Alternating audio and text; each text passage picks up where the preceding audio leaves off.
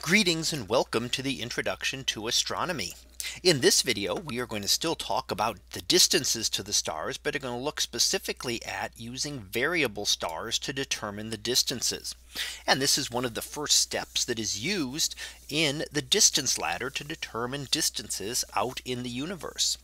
Parallax and radar work very close to us radar only within our solar system and very close to us parallax working out to some of the nearest stars but in order to determine distances further across our galaxy and to other galaxies we are going to need stars that could actually be seen there that we can use to calibrate our distance scale and we're going to start that out by looking at variable stars today. So what we find is for variable stars. First of all, what is a variable star? Well, there are several different types and we have eclipsing variable stars where one star passes in front of another and causes it to dim. Algol is an example of this. This is the demon star in the constellation of Perseus. And it is an eclipsing uh, binary star. And you can actually look up when the eclipses will occur. And notice if you identify the star, you can actually see it get fainter when it is in eclipse. It is actually visible to the naked eye. And one of the reasons that it was called the demon star because it was something in the heavens that was changing, which was not expected to occur. Now, so there are eclipsing variables. There are also intrinsic variables. Now, these are the ones that we're going to start looking at a little bit more because the star itself varies in brightness with a regular period. And we can see an example of a Cepheid variable uh, shown here that they will uh, vary in brightness. So they will actually go down fainter, fainter, fainter and then will quickly rise up and get brighter again and then continue to do this with a regular very regular period. They will continually do this. And this is going to be very important. These are the ones that we want to look at for being able to determine distances. There are also what we call cataclysmic variables, which do not occur on such a regular scale. You can see the Cepheids have periods of maybe a couple of uh, or sorry, the Cepheids will have periods of running a few days uh, to months. And the change in magnitude can be a whole magnitude, a factor of two and a half times in brightness. Cataclysmic variables can change much more quickly. These are sometimes what we call the novae and a nova can change its brightness very rapidly, but then will sit for a long, long period of time. So it's not a regular change here. And we can never know precisely when a nova will go off. We can have a pretty good idea because some of them do recur from time to time. But that might take decades or even centuries for them to build up to that again. Now what we look at here is what we call the light curve of the star how the brightness varies over time. Each of the dots on here is a single observation of the brightness of the star. And over time over days, weeks and months, we can then see how that pattern changes. And we're going to find that to be very important for determining the distances. So let's look a little bit more at these Cepheid variables that we have. And when we look at the Cepheids, first of all, they've got their name from the first one that was seen, which was Delta Cephei, uh, the fourth brightest star essentially in the constellation of Cepheus in the northern sky.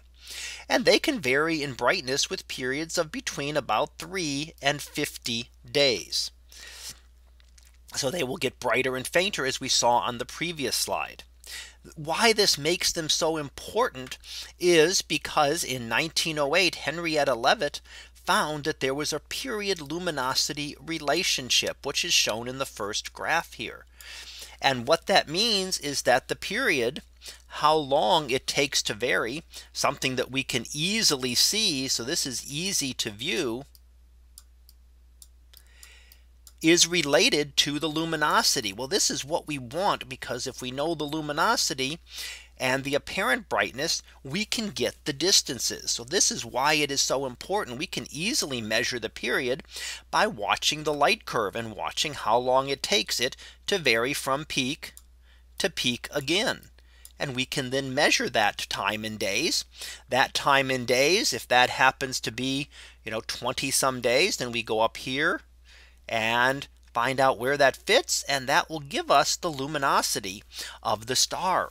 We can then use that to determine the distance, the luminosity and the apparent magnitude, the apparent brightness in the sky will give us the distance. So what we find is that the longer period, the ones that take longer to vary means they have a higher overall luminosity. Now let's look a little bit more detail about how this works. For the Cepheids, why is this so important? As I've mentioned, the period is very easy to measure. That is something that we can get very quickly. And then we can use as I showed on the graph on the previous page, we can use this to determine the luminosity of the star. If we know the luminosity and the apparent brightness, and apparent brightness, we just have to observe how bright the star appears to be. We can then determine the distance using the inverse square law of brightness. So once we've done this, we can then use that to determine the brightness and that gives us the distance, which is what we are really looking for is trying to be able to determine this distance. However, before it can be used, we need to calibrate this this. Uh, this luminosity relationship. We need to know the luminosity for one Cepheid to be able to determine that.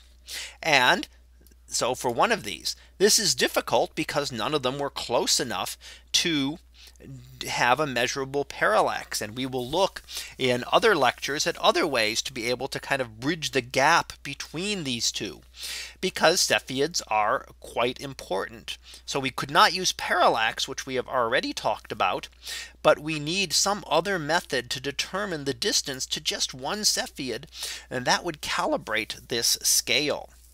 Now this was important because once it was done back in the 1920s, Edwin Hubble did find Cepheids on images taken of the Andromeda galaxy. And this was the first time that we learned that it was another galaxy and not part of our own. Up until that time, it was still a great debate as to whether galaxies were actual other galaxies, other island universes as they were called, or if they were a part of our own galaxy. And it was not until this time that we were actually able to figure that out. And the Cepheid variables that we're looking at here played a key part in this. Once we could use them and use their period luminosity relationship, we could then get the distance. Again, that's the all important thing that we are looking for right now is to get these distances. And that allowed us to say that it was so, the distance was so large that it could not possibly be a part of our own galaxy. Now Cepheids are not the only variable star that can be used. There's another related type of star that we look at as well. And these are called the RR Lyrae stars. Um, they are named again after their primary uh, one, which was RR Lyrae, the first one discovered in the constellation of Lyra. And RR just means is the designation for variable stars. There's a way to catalog and name variable stars. Now these are interesting because these are like Cepheids, but they all have periods that are very short in less than one day. And what that means is that if we look at them on the period luminosity relationship, we looked at Cepheids variables. Well, they are all way down here at the bottom. So all of the RR Lyrae stars are down here. And that means that roughly they have all about the same period of about half a day and therefore all very close to the same luminosity about 50 times the luminosity of the sun which means that as soon as we identify a star as an RR Lyrae star, we immediately know its luminosity. So we know what its luminosity is and can therefore determine its distance. That makes them very important. Immediately we know that luminosity and we can use that to determine the distance. And these have been used to map the size of the Milky Way. These are very common stars in globular clusters. And we can use those to then map out the extent of our Milky Way and learn something about the sizes of it. So these are two ways to be able to determine distances using these different types of variable stars using the RR Lyrae stars using the Cepheid variables we can map distances not only within our galaxy but also to other nearby galaxies. However, we are going to need more methods. These are not visible across the universe. When we start to think of things that are hundreds of millions of light years away or billions of light years away, even though Cepheid and RR Lyrae stars would be present there, they're not going to be bright enough to be seen across those immense distances. And we are going to need other methods to be able to determine those distances. So let's finish up here as we do with our summary. And here we look at First of all, we talked about the number of different types of variable stars.